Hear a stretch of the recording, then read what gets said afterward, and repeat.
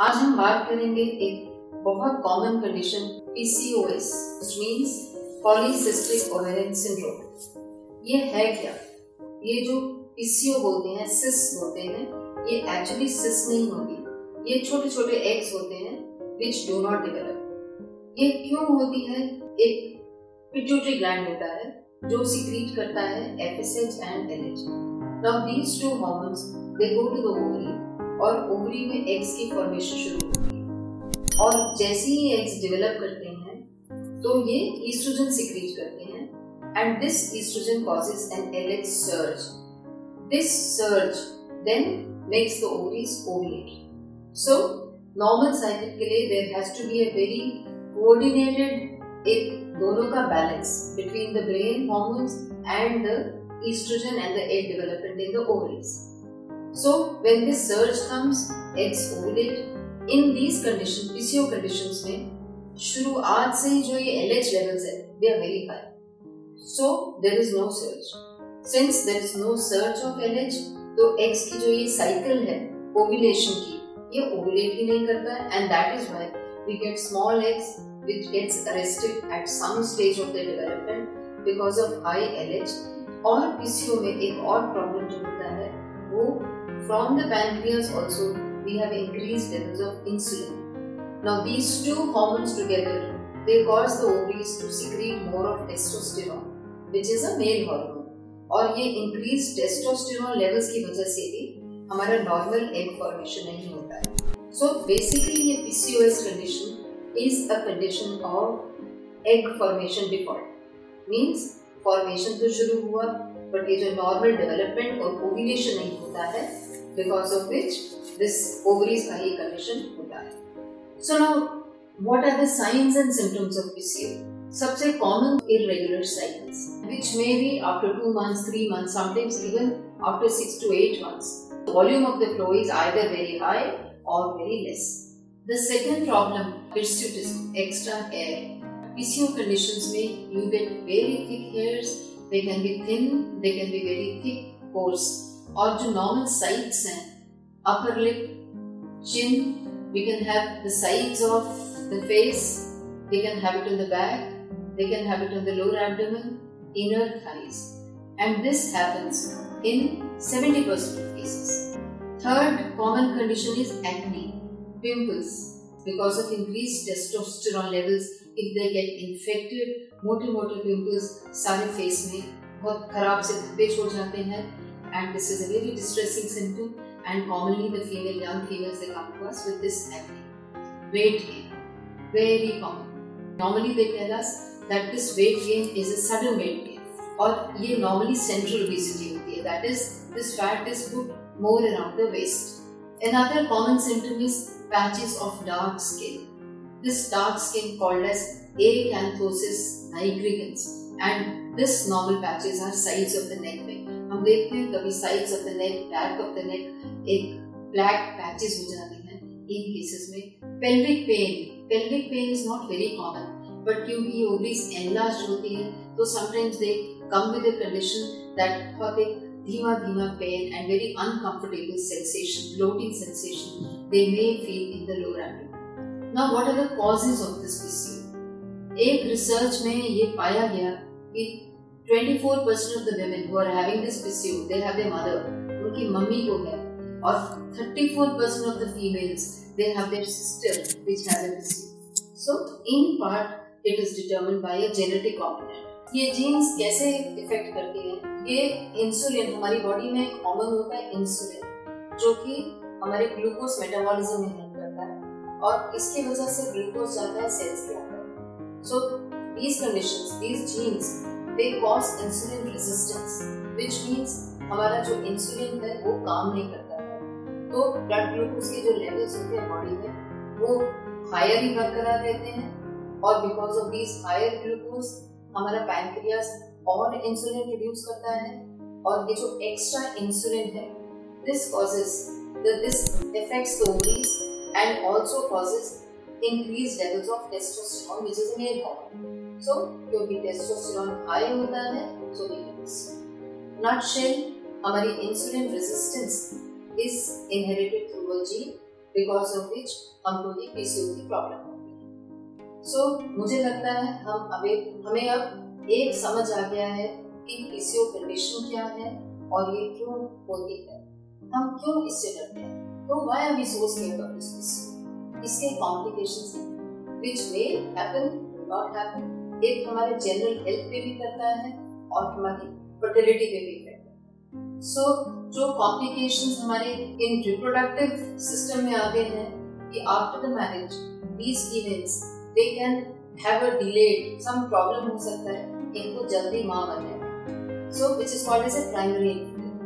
but कभी कभी एक बच्चा होने के बाद भी पीसीओ डेवलप हो सकता है और फिर हमें प्रॉब्लम आ सकती है, जिसको हम कहते हैं सेकेंडरी इन्फेक्शन और एक रिसर्च में पाया गया है कि 20% of the cases they can have a secondary infertility also तो एक ग्रुप ऑफ़ डिजीजेस होती है, जिसको बोलते हैं metabolic syndrome we are prone more prone to developing some other conditions which can be one we can have increase blood pressure which is called as hypertension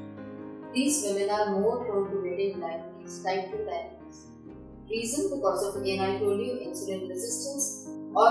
इसको हमें अगर पता है तो हम शुरू से ही अपना लाइफस्टाइल को मॉडिफाई करके डायबिटीज़ का होने में हम इसको डिले कर सकते हैं। Obstetric complications obstetric means once you get pregnant then also these females are very prone to get diabetes blood pressure और कभी-कभी बच्चों में भी, बच्चों में प्रीटर्म डिलीवरी हो सकती है। शुरू में मिसकैरेजेस के चांसेस बहुत कम हैं। So if a PCO person gets pregnant उसमें ये ऑब्स्टेट्रिक कॉम्प्लिकेशंस भी आ सकते हैं। ऑन्कोलॉजी रिस्क ये patients they are more prone to developing cancers they can be endometrial cancer ये क्यों? क्योंकि अगर बहुत दिन तक एस्ट्रोजन हमारा यूट्रस एक्सपोज रहता है और ओवुलेट नहीं कर रहा। तो the chances of endometrial cancer ovarian cancers ये भी बहुत हाई हो जाते हैं पीसीओ कंडीशंस में obesity, i told you these patients are very prone to get obese or obesity itself in itself is a disease so you get obese आप मोटे होते हो आपको पीसीओ होती है पीसीओ होते हैं तो आप मोटे होते हो तो एक ही साइकिल बन जाता है and we have to break this cycle depression anxieties PCO patients are very prone to getting depression also. Anxiety. They are very prone to getting very anxiety attacks. And sleep disorders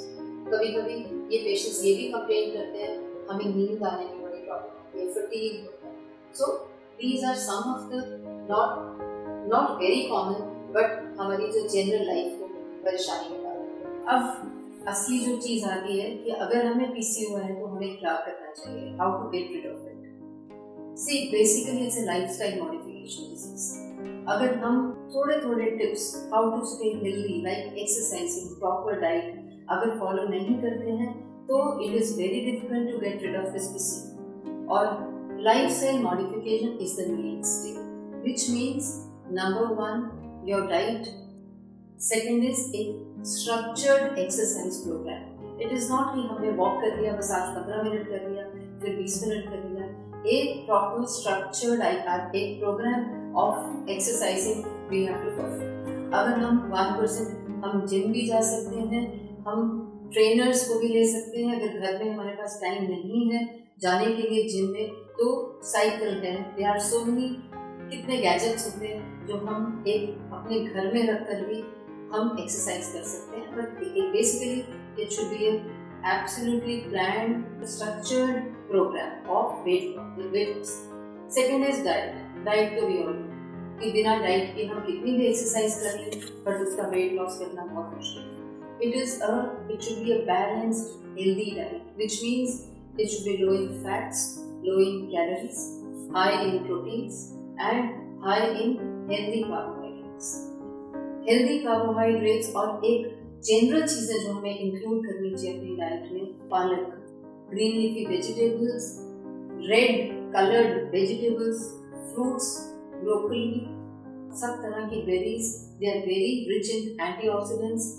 unpolished grains which is the main thing जो दालें होती हैं हमारी जो grains होते हैं वो whole cereals होने चाहिए unpolished grains they form they are very rich in fibers so our diet should increase it, it should include more of fiber diet vitamins iron rich diet magnesium, copper, they are also very essential part of the diet program. So you can have a supplements also.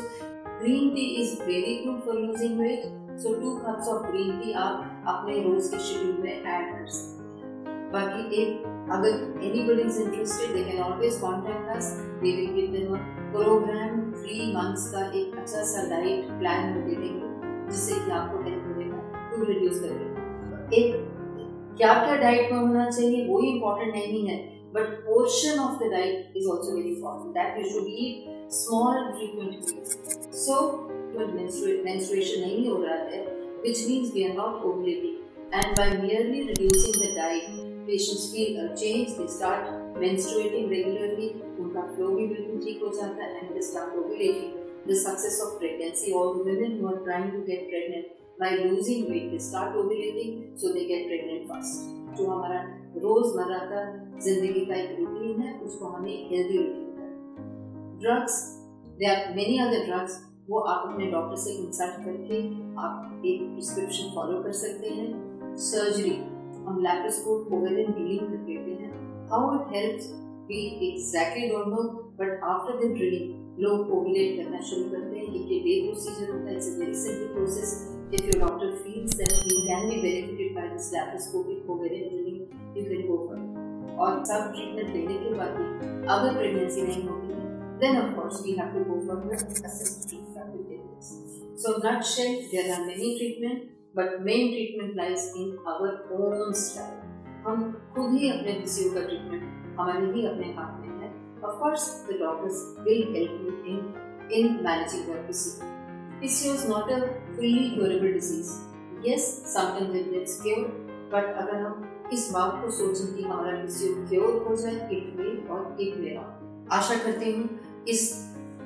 छोटे से talk में आपको, आपके काफ़ी जो आप सोचते होंगे कि आप किसी होता है you are able to